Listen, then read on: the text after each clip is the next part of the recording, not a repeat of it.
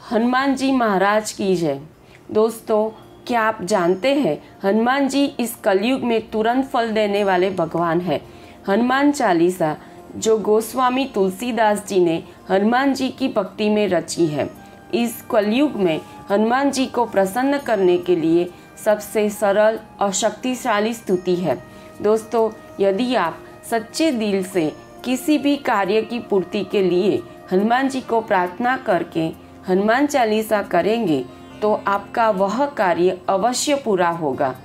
हनुमान चालीसा की अनेक चौपाइयों में हमारी हर समस्या का समाधान छुपा हुआ है।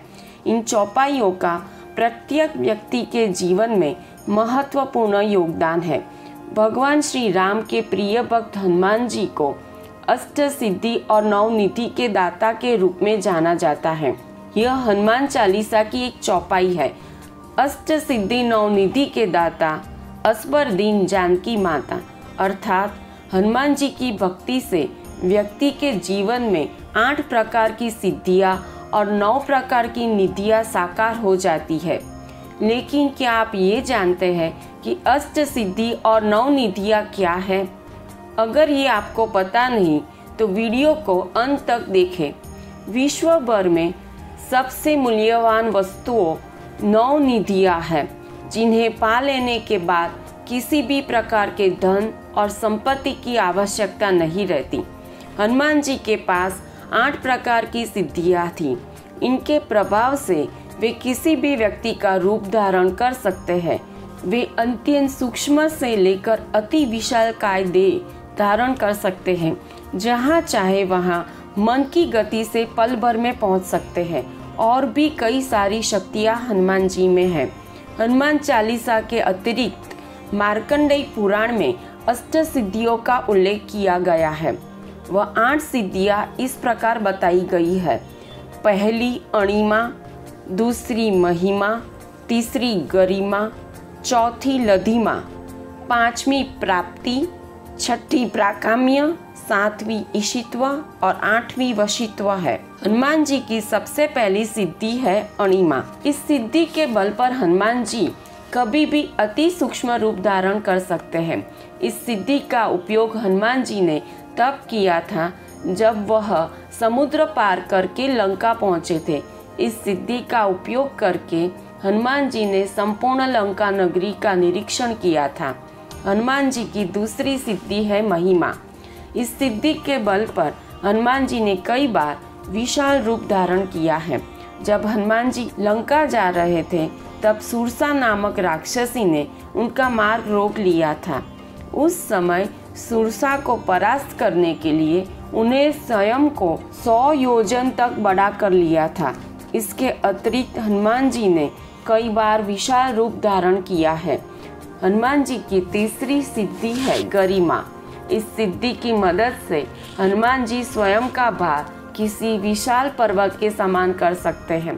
इसका उपयोग हनुमान जी ने महाभारत काल में भीम के समक्ष किया था। एक समय पर भीम को अपने बल पर घमंड हो गया था। उस घमंड को तोड़ने के लिए हनुमान जी एक वृद्ध वानर का रूप धारण कर मार्ग में अपनी पूंछ फैलाकर बैठे हुए थे। तब भीम ने देखा, एक वृद्ध वानर की पूंछ मार्ग में पड़ी हुई है। फिर भीम ने इस वृद्ध वानर से कहा, आप अपनी पूंछ मार्ग में से हटा ले। तब वृद्ध वानर ने कहा कि वृद्धावस्था के कारण मैं अपनी पूंछ उठा नहीं सकता हूँ। आप स्वयं ही उसे हटा लीजिए। इसके बाद भीम पूंछ उठाने गए परंतु पूंछ टस से मस नहीं हुई। भीम ने पूरी शक्ति का उपयोग किया, लेकिन सफलता नहीं मिली। इससे उनका घमंड चूर चूर हो गया। हनुमान जी की चौथी सिद्धि है लधिमा इस सिद्धि से हनुमान जी स्वयं का भार बिल्कुल हल्का कर सकते हैं और पल भर में वे कहीं भी आ जा सकते हैं। हनुमान जी अशोक वाटिका में पहुँचे तब वे अणिमा और लधिमा सिद्धि के बल पर सूक्ष्म रूप धारण करके अशोक वृक्ष के पत्तों में छिपे थे। इन पत्तों पर बैठे बैठे ही उन्होंने माता सीता को अपना परिचय दिया था। हनुमान जी की पांचवी सिद्धि है प्राप्ति। इस सिद्धि की सहायता से हनुमान जी किसी भी वस्तु को तुरंत ही प्राप्त कर लेते हैं। पशु पक्षियों की भाषा को समझ लेते हैं और आने वाले समय को देख सकते हैं।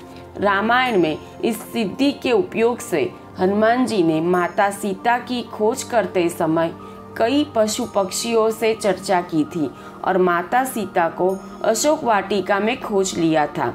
हनुमान जी की छठी सिद्धि है प्राकाम्य। इस सिद्धि की मदद से हनुमान जी पृथ्वी की गहराइयों में पाताल तक जा सकते हैं, आकाश में उड़ सकते हैं और मन चाहे समय तक पानी में जीवित रह सकते हैं। इस सिद्धि से हनुमान जी किसी का भी रूप धारण कर सकते हैं। हनुमान जी की सातवीं सिद्धि है ईशित्व। इस सिद्धि की सहायता से हनुमान जी को दैवीय शक्तियाँ प्राप्त हुई है। ईशित्व सिद्धि के प्रभाव से हनुमान जी ने वानर सेना का कुशल नेतृत्व किया था। इस सिद्धि के कारण उन्होंने सभी वानरों पर श्रेष्ठ नियंत्रण रखा था। साथ ही इस सिद्धि से हनुमान जी सेना में घायल हुए सैनिकों को पल भर में ठीक कर देते थे। दोस्तों, हनुमान जी की अष्ट सिद्धियों में से ये आखिरी सिद्धि है वशित्व। इस सिद्धि के प्रभाव से हनुमान जी जितेंद्रिय है और मन पर नियंत्रण रखते हैं। वशित्व सिद्धि से हनुमान जी किसी को भी अपने वश में कर सकते हैं। इसी के प्रभाव से हनुमान जी अतुलित बल के धाम है। यह हनुमान जी की आठ सिद्धियाँ थी। दोस्तों, आप भी हनुमान जी में सदा विश्वास रखकर हनुमान चालीसा कीजिए। जीवन के बड़े से बड़े संकट दूर हो जाएँगे, ऐसा हमारा अनुभव है। आप भी अनुभव कीजिए। हमारी तरह आप पर भी हनुमान जी की कृपा बनी रहे। दोस्तों, इस वीडियो को हनुमान जी के सभी भक्तों को शेयर कीजिए और हनुमान जी की महिमा बताइए। वीडियो अंत तक देखने के लिए धन्यवाद। हमारी चैनल फैक्ट विथ हिस्ट्री को सब्सक्राइब कीजिए। धन्यवाद।